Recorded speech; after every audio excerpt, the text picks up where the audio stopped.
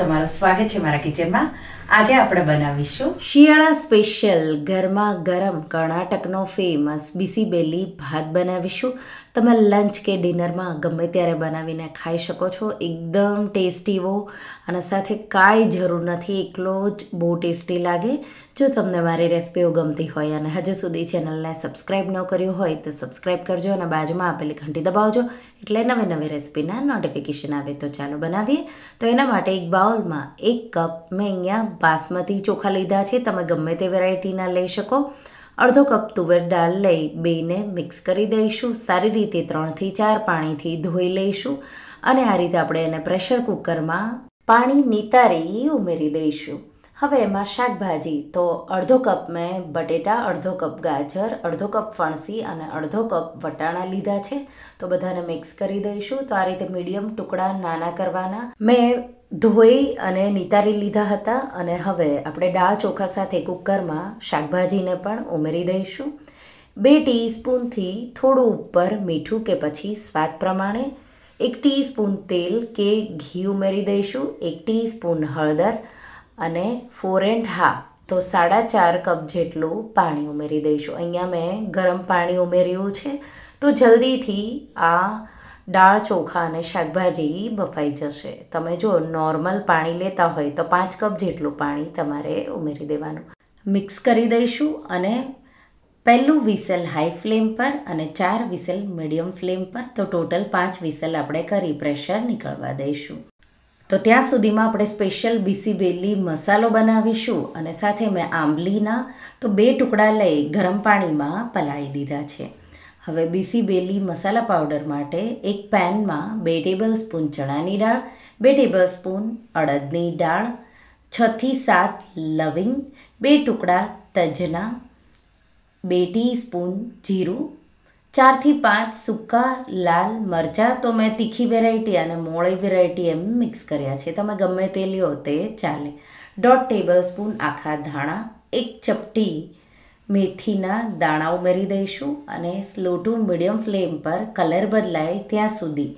કે સુગંધ સારી એવી ઘરમાં આવે ક્રિસ્પી થાય ત્યાં સુધી તમારે શેકવાનું છે. તો હલકી ગરમ થાય પેન પછી તમારે બધી આ સામગ્રીઓ ઉમેરવાની અને પછી લગભગ મેં ચાર મિનિટ જેવું શેકી લીધું. ત્યારે આપણે એમાં વીસેક જેટલા મીઠા લીમડાના પાન ઉમેરીશું. એને એક મિનિટ જેવું શેકી અને એક ચોથાઈ કપ ડેસિકેટેડ કોકોનટ કે કોપરાઓ તમારા પાસે સૂકું હોય તો એના સ્લાઇસ પણ ઉમેરી શકો છો. અને લગભગ મેં પાછું બે મિનિટ જેવું શેકી લીધું છે. તો સ્લો ફ્લેમ પર અત્યારે મેં શેક્યું છે અને તમે જોઈ શકો છો કલર બદલાઈ ગયો છે. ગેસની આંચ બંધ કરી આ સામગ્રીઓને ઠંડી થવા દઈશું. હવે સાથે સાથે બીસીબેલી ભાતનો વઘાર પણ કરીશું, એના માટે કડાઈ મૂકી દઈશું. એમાં એક ટેબલ સ્પૂન તેલ અને બે ટેબલ સ્પૂન ઘી ઉમેરી દઈશું. એટલું ઘી પણ લઈ શકો છો. ગરમ થાય એટલે આપણે દસ જેટલા કાજુના આ રીતે બે સ્લાઇસ કરી ઉમેરી દઈશું અને હલકો એનો કલર બદલાય ગોલ્ડન જેવું એટલે આપણે એને કાઢી લઈશું. અને એમાં જ આપણે એક ટીસ્પૂનથી થોડી ઉપર રાઈ ઉમેરી, રાઈને ફૂટવા દઈશું. રાઈ થોડી ફૂટવા લાગે એટલે એક ટીસ્પૂન જીરું ઉમેરી દઈશું અને એમાં આપણે એક મુઠ્ઠી જેટલા શીંગના દાણા હલકા આપણે એને સાતળી લઈશું. તો હલકા ક્રિસ્પી થાય ત્યાં સુધી તમારે એકથી બે મિનિટ જેવા મીડિયમ ફ્લેમ પર આ રીતે શેકી લેવાના. આ રીતે થોડા શેકાય એટલે અડધી ટીસ્પૂન હિંગ ઉમેરી દઈશું, પંદરથી વીસ મીઠા લીમડાના પાન, સાથે એકથી બે સૂકા લાલ મરચાં ઉમેરી દઈશું, હલકા એને પણ સતરાવા દઈશું. તો થોડી સેકન્ડો માટે જ સતરાવા દેવાના છે. એક મોટી ડુંગળી ઝીણી કટ કરી આ રીતે ઉમેરી દઈશું અને ડુંગળીને લગભગ ત્રણથી ચાર મિનિટ ટ્રાન્સપરન્ટ થાય ત્યાં સુધી મીડિયમ ફ્લેમ પર સાતળી લઈશું. તો આ રીતે હવે તમે જોઈ શકો છો ટ્રાન્સપરન્ટ થઈ ગઈ છે.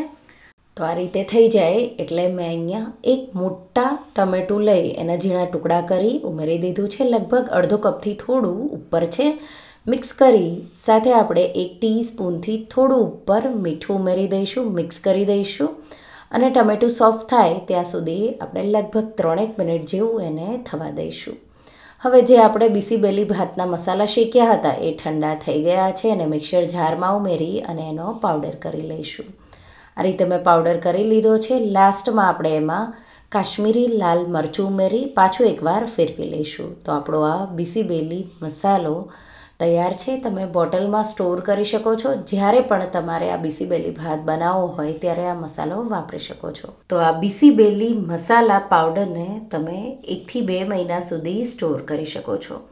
પ્રેશર કુકર જે આપણે મૂક્યું હતું એ થઈ ગયું છે. પ્રેશર પણ નીકળી ગયું છે. આ રીતે એને મિક્સ કરી દઈશું અને તમે જોઈ શકો છો, એકદમ સોફ્ટ એવી, પરફેક્ટ, સિમ્પલ એવી આ ખીચડી તૈયાર થઈ ગઈ છે અને આપણે એનો વઘાર કરી એને બીસીબેલી ભાત બનાવી રહ્યા છીએ.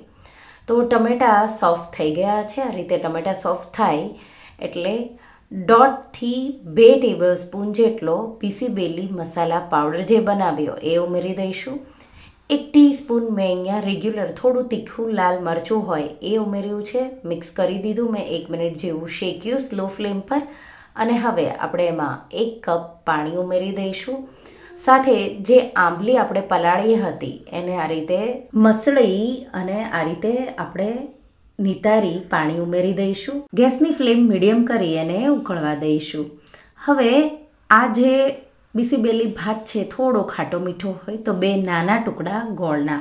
લગભગ બેથી ત્રણ ટીસ્પૂન જેટલો ગોળ ઉમેરી મિક્સ કરી આ રીતે એકથી બે મિનિટ જેવું કાઢીશું આ રીતે ઉકળી જાય એટલે જે આપણે દાળ, રાઈસ અને મિક્સ વેજીટેબલ બાફ્યું છે એ બધું ઉમેરી દઈશું. મિક્સ કરી દઈશું એકદમ સારી રીતે.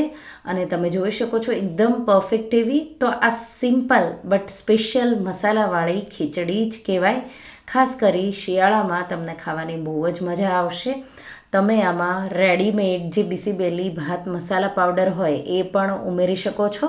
તો એ પણ તમારે દોઢથી બે ટેબલ સ્પૂન જેટલો જ બહુ વધારે નહીં ઉમેરવાનો, નહીતર એનો જે ફ્લેવર છે એ બહુ સ્ટ્રોંગ થઈ જશે એટલે એ તમારે ધ્યાન રાખવાનું. મિક્સ થઈ જાય એટલે બેથી ત્રણ ટીસ્પૂન જેટલું ઘી, સાથે થોડું મીઠું એમાં ઓછું છે તો અડધી ટીસ્પૂન જેટલું મેં ઉમેર્યું. અને અડધો કપ જેટલું મેં પાણી ઉમેર્યું છે. મિક્સ કરી દઈશું. અને થોડો મેં બીસી બેલી મસાલા પાવડર પણ, તો એક ટીસ્પૂન જેટલો જ ઉમેર્યો છે. મિક્સ કરી અને લાસ્ટમાં બેથી ત્રણ ટેબલ સ્પૂન જેટલા લીલા ધાણા ઉમેરી અને આ રીતે તમે જોઈ શકો છો. પરફેક્ટ એવું બીસીબેલી ભાત બનીને તૈયાર થઈ ગયું છે. તો આ એકદમ સિમ્પલ પણ ઝટપટ બની જશે. જો મસાલો તમારો તૈયાર હશે, તો તમે લંચ કે ડિનરમાં ઝટપટ આ બીસી બેલી ભાત બનાવી સર્વ કરી શકો છો. કર્ણાટકમાં બહુ જ ફેમસ છે. સાથે સાથે એકદમ ટેસ્ટી એવું આ સ્પેશિયલ મસાલા ખીચડી જેવું જ તમને લાગશે. તો એકવાર તમે આ બીસી બેલી ભાતની રેસિપી ટ્રાય કરજો. તમે વારંવાર બનાવશો. તો તમે એને પાપડ કે સ્પેશિયલ સાઉથમાં એને આ રીતે મિક્સ જે ફરસાણ હોય એના સાથે સર્વ કરવામાં આવે છે. ઉપર મેં કાજુથી અને થોડું ઘીથી ગાર્નિશ કર્યું છે. તો રેસીપી ટ્રાય કરજો. તો તમને આ રેસીપી કેવી લાગી મને કમેન્ટમાં જરૂરથી જણાવજો. અને જો રેસીપી ગમી હોય તો વિડીયોને લાઇક કરજો, શેર કરજો અને મારા ચેનલને સબસ્ક્રાઇબ કરજો. અને આવી જ નવી રેસીપીઓ માટે તમે બેલેકન બટનને પ્રેસ કરજો. Thank you for watching